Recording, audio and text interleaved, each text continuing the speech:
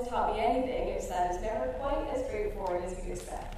See, I started out at SFU as a biology major, and that led me to my first co-op position in the Bee Lab here at SFU.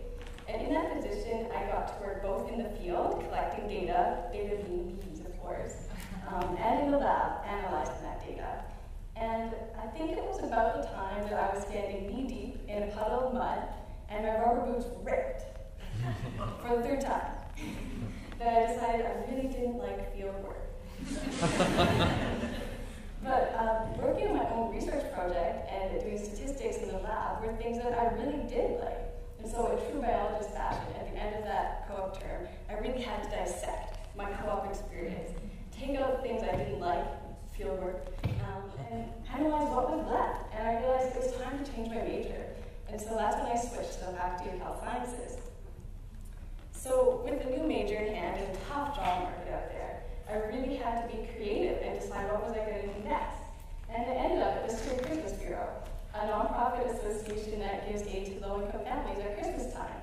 And one thing I loved about this position was going out into the community at events and representing the organization. I worked with great volunteers, and I loved how people in the public would come up to me and share with me their stories. They would tell me how this organization has changed their lives. And that was really beneficial to me in the short term because I got to really understand the impact of the organization, which was helpful when I was writing grant applications, for example. Um, but in the long term, it really helped me appreciate the importance of listening to people and knowing their needs so that you can help them.